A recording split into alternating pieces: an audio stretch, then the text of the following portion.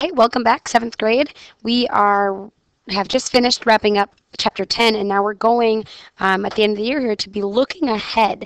Um, this is going to be in the way back of um, chapter 12. It's going to be in the back of your book and it's going to be on page looking ahead 2. Um, looking ahead as we go through and we're still getting used to our flipped classroom here. Don't forget uh, that you can rewatch this video, you can read the examples in the book, or you can watch the personal tutor videos from your textbook um, to better understand the information that we're going to go over. So as you are on page looking ahead to way past chapter 12 in the back of the book, um, we're going to be looking today at simplifying polynomials. First, we should probably remember simplify means to get numbers down to the smallest of terms.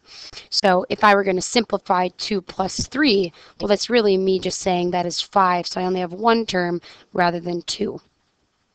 Uh, polynomials, which would be a good word to put down in your vocabulary, um, they are algebraic expressions if we remember algebraic is the study of math that uses variables in place of numbers.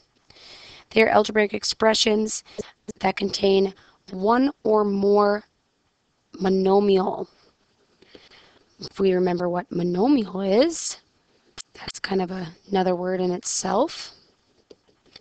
Monomial, we decided, remember, was a number, a variable, or product of the two. Okay, and that's what we did uh, in chapter 10 when we were combining things with exponents. So hopefully that's just a real quick recap of some of the vocabulary and things that we're going to see here for the first looking ahead, getting us ready to be eighth graders. So on we go. So you're on that page in your book. Uh, something you're going to see within this looking ahead is that they're using models a lot. They're using these um, tiles to show what we're looking at, okay? Um, their use of tiles is like what I've done before, just to show the like terms. If you remember what like terms are, those are the things that have something in common. So x and 2x, those are like terms. Um, x squared and 2x squared, anything with the same exponents. Uh, regular numbers, 3 and 2 are like terms.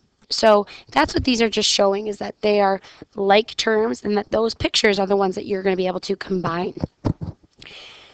So here I am. They want us to simplify the polynomials. Simplify meaning we have a lot of terms right here and we want to kind of break that down and make them smaller. So over here, they showed you that they have 4x and we also have another tile and 1x that are the same, that they're alike, like we've done before, I would go about and circle my like terms. You've seen me do that before um, in our past lessons and chapters. So what they did here was combine these two to show that, well, 4x and another 1x is the same as 5x. So combine those two things together. One thing we notice is all of a sudden, this x squared came over here, and the negative 3 went to that side. The reason they moved those around and put them in that order is because we write them in standard form. When we're simplifying polynomials, standard form just means that we're going to write the powers in decreasing order from left to right. These notes are getting kind of messy here. I think this marker's a little too big. But we're doing it. So here we go. Um, continuing on, at the bottom, we have some more examples. And maybe you want to try, maybe you want to pause me right now and try it on your own um, for the next page here. But at the bottom, they're just telling us that what we really have is this same thing that we started with at the top of the page is really simplified down to here x squared plus 5x plus a negative 3. And we know that adding a negative is really just the same as subtraction. So simplified, here I am at x squared plus 5x minus 3. So on this next one, maybe you want to give these two a try. Maybe you want to pause me right now and um, try them out. Maybe you want to see me do the first one and then you do the second. So I'm going to go ahead and start this one. So if you want to pause now would be the time. Um, I'm not going to use models. I think the shapes, for me, they're a little bit messy. If you want to, they're in your book. For me, and what you've seen from me before, is that I like to circle and square and kind of just shape my like terms together so I know what I'm combining. So right now what I see is that I have an x, and I look for another one with an x to the first power. And I take the sign in front of it because I know that that's a negative 1x and a negative 2x. To remind myself that it's a negative 1, I just put that 1 right in front of that x to remind myself. I also see that I have constant numbers. So I have a 1 and a 5. So what I really do with those is I'm going to take them over. Well, this is a negative x and a negative 2x. And over here I have a 1 and a 5. So I really just combine my like terms and put everything down below. So what I really have is that negative 1 plus a negative 2 is a negative 3x plus my positive of 6. So this is now the same thing as what I had above, but it's simplified. All right, so D, maybe you try it on your own and you're checking your work. Could look a little different than mine. Maybe you use models. Maybe you just do the work. So here we are. I'm going to do my circling thing. I'm going to remember that there's a 1 right in front of there. I see that this is x to the second power, and there's also another x to the second power on this side. I see that there is a 3x, and there's nothing else combining that, and there's also a 4. Maybe I have to have a third shape. Maybe I do a triangle. So then I rewrite this, combining my 1x plus my other 1x, so I have 2x squared, put my exponent with the smallest power next, and then my number with no um, exponent power at the end. So it's in standard form. All right, next one. Again, we see those shapes here. Um, you can either choose to use them or maybe you want to ignore them. That is really up to you. Here we are removing zero pairs to simplify polynomials. Zero pairs, what that means is really just if I add two plus negative 2. That's a zero pair because that gives me 0. So we're really looking for opposites here or things that cancel each other out. So here I am. They're looking to write the polynomial as a sum. So I know sum means addition. So what they did here with the 2x squared minus 3x minus x to the second power, they said that's the same as really just adding the opposite all the way through. So they just went chop minus, chop minus. Oh, the smartboard's a little bit off. There we go. Hopefully you can bear with me there.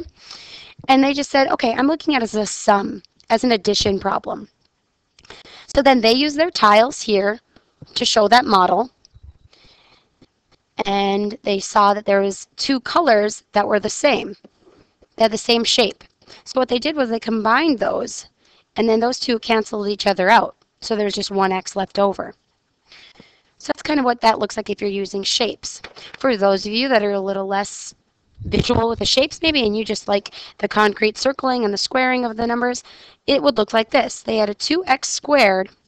They did that chop minus, so now they have a plus a negative 3x plus a negative 1x squared. So they just did that chop minus there.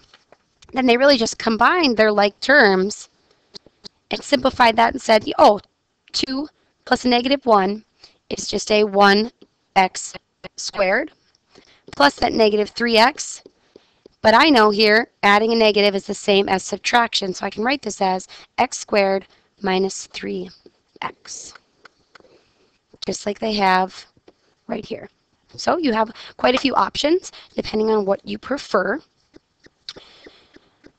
Again, if you want to pause me and you want to try these on your own, then check the answer. You just go ahead and go for it. Good for you. If not, if you want to watch one and then do the other, whatever works. You are in charge of your learning right now. So here I am. Again, they say use models if needed. Ms. Simmers is going to choose to not use them. I'm going to choose to keep going with my circling and squaring like terms method. And I know they're like terms based on their variable and exponent. So, but I am going to go with that strategy they had of doing the sum. So I'm going to do add the opposite just so I remember that that sign in front of the number um, tells me if it's a positive or negative. So here I circle my negative 2x and my 3x. So that's really like, okay, negative 2x plus 3x and then plus this positive 6 on the end. Well, a negative 2 plus a positive 3 is just 1x plus 6. So now I'm simplified at that point because I have a term and another term that cannot be combined. How about this next one again then? Okay, I know there's a 1 right in front of that x. I like to remember those things. Maybe I want to do that add the opposite trick. I tell you. So here I circle my x to the second powers. Maybe I write them over here so I remember that those two are together. And then I circle my, maybe square my other pairs, my 5 and my negative 1. So that's plus 5 plus that negative 1. So a negative 2x plus 1x is a negative 1x squared. And then 5 plus a negative 1 is positive 4. So I write that positive as a plus sign. Well, this is simplified, and I don't really need to write that there, so I can just have a negative x squared plus 4. So really, this is all about us going back to our combining like terms, which we have done before. Uh, bear with me here. We have one more slide. And this next one, we're talking about perimeter. Perimeter, first we have to remember what that means. So we're going to use the polynomial to represent uh, the perimeter of the figure at the right. The figure at the right, we know, is a parallelogram. Perimeter, we need to remember, is the sum, meaning addition, of all sides. So really what we're doing is we're adding all of these sides together. So what that looks like is my perimeter is, well, let's start on this side right here. So my perimeter is 8 plus 3a plus 8 plus 3a.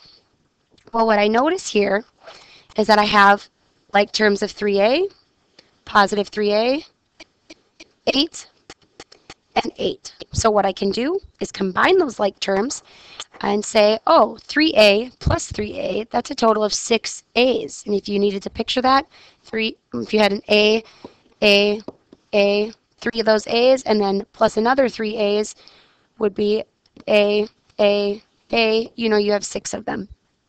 And then we know 8 plus 8 is 16. So this is our simplified answer. But since it's a word problem and there's centimeters involved, we'd probably want to put a label on it there. This is also like example 4 on looking ahead. Number 1. Our last two examples, maybe you want to give them a try on your own and then follow along. Maybe you just want to look at them and then do them on your own. It's up to you. Last two. I'm going to use my circle and squaring strategy again. So I'm going to first find all my add the opposite so I know the sign. Take my 3x squared, take my negative 1x squared. Those are like terms. They're to the same power.